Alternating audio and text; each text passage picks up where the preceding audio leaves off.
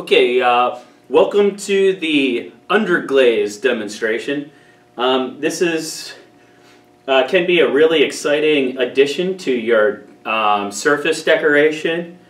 Um, this is a process that you would normally use with Bisqueware, and uh, I'll, I'll, get into um, demonstrating how to use this stuff. But you can see is that uh, these underglazes here, they come in these um, uh, little jars, and you can see they're all these really bright colors, right? And um, this is a real advantage because these colors are really hard to get at um, uh, top temperature. Uh, the temperatures that we use, which is cone 6, which is right around 2200 degrees Fahrenheit. So believe it or not, um, it's hard to get bright oranges and purples and yellows at those temperatures. And so uh, the ceramics industry, there's all these glazing companies and they've figured out a way to um, create these really stable colorants. And so uh, that will allow us um, to use these colorants in, in a multitude of ways. I'm going to show you how to draw with them. Um, but there are other ways to, you can print with them, you can paint with them with a brush. So there's a whole lot of different things we can do. Um, you'll notice that I have a bunch of test tiles here, um, and I'll make these more available for you. They're um, always in the um, brown cabinet over here, along with all of the underglazes. Um, and what you'll see is there's all of these examples of what the colors look like with each glaze. Um, you can apply these materials underneath glaze, which is where they get their name, underglaze, um, or you can apply them over top of glaze. However, when they are applied over top of glaze, you, need to be really careful because they don't melt as much and they can change the nature of the glazed surface. So you just want to be mindful of that. Normally what I do is I will um, paint or draw with these, I will apply these colors onto Bisqueware itself. Uh, and then, then I'll go and dip it into glaze. Okay? These colorants are really strong, they're very stable, they will push through any of the glaze colorants. And they will maintain their color, so it's a really great advantage if you're trying to specify specific color designs on the surfaces, regardless of what glaze you use. So it's really great. The other thing that I would recommend is think ahead. For example, this is, uh, is what the blue underglaze will look on top of white slip. So you can use these, again, think of layers, and we talk about layers in class all the time. Think about how you can apply and take advantage of your clay layers, and then how you can um, uh, integrate these other colors. So for example, you could use a white slip and then bisque fire that, come back and use a red or blue underglaze and then put clear glaze on top of that. This is an example of white glaze over top of white slip and blue underglaze. Um, this would be an example of um, blue underglaze with clear glaze. So it's still really um, noticeable and I'll give a close-up to that. It's still really noticeable, but you do want to think about these different layering relationships and, and contrasts and how you can promote color, what glaze surface you're looking to use. So you definitely want to have a plan before you start. All right. Um, like I said, these colorants normally um, are applied to bisqueware, but that doesn't mean you can't apply them to clay. I've applied them to clay numerous times. It works. You usually want your material as like leather hard or harder. Um, but typically, my recommendation, until you you know begin to get used to those types of nuances, um, I would just recommend thinking about this as a glazing uh, technique. So bisqueware. Okay. Now, um, usually the material that is in the jars is really, really thick. And so normally what I'll do is I will keep these in the brown cupboard. You can use them, but many times I'll have them in these plastic jars, um, and they're a little bit watered down so that they're a little bit more fluid. Okay, so that's what I'd recommend if you're looking to use a brush um, or some sort of other decorating mechanism. Um, I also have these little bottles with these little nozzle heads, okay? And these are called slip trailing tools. It's just a way, it's kind of like a little syringe, so you can make a bunch of drawings and things like that. Um, and I have a bottle for each color. And normally those bottles are in this little plastic bin that says slip trailing tools. Uh, we keep all of these materials in this jar um, and this jar is always in the brown cupboard, okay, because that's where we always put them. Um, so moving forward, you can see I've already got a couple of bottles prepped here. And I usually like to have my colorants just a little bit on the loose side, as in a little bit watered down. They usually flow a little bit more.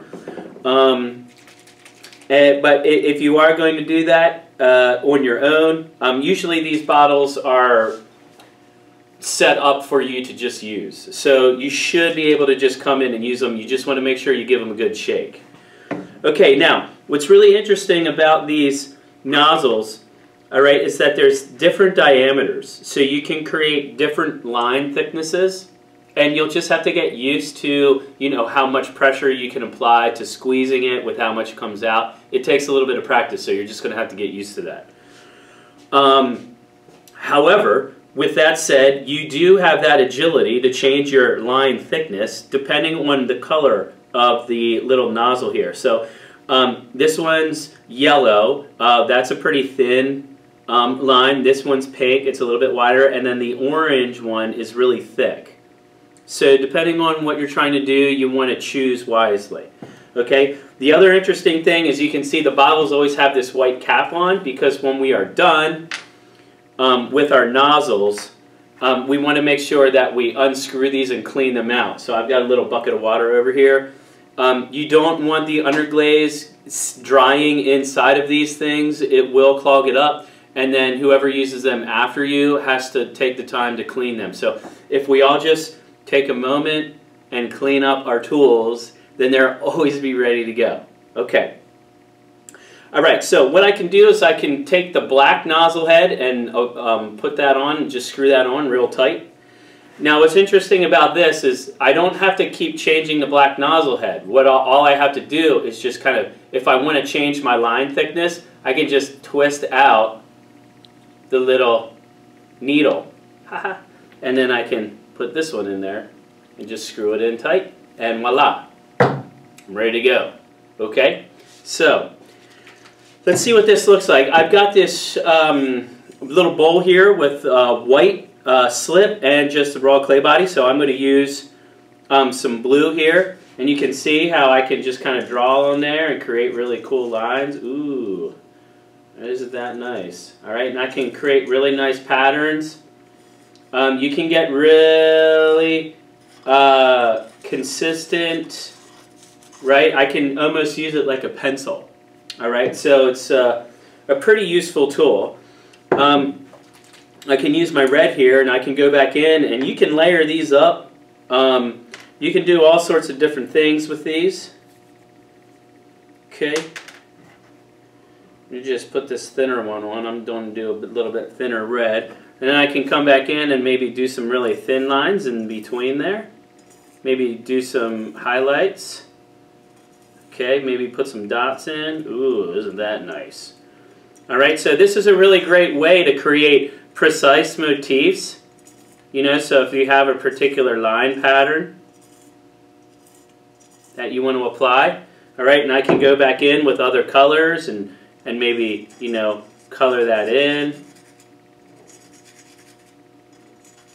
All right, so sky's the limit here, guys, okay? You can use these as you would ever you would use like a colored pencil or a marker or, or whatever. So you know you you you, you want to. My recommendation is to think you know with these types of tools is to think lines and how you can fill them in. Here are some um, other examples of all the colors under white glaze, and um, I'll get a close up of these, but. Uh, uh, you, you can see that the colors are really stable um, and you can do a lot with it.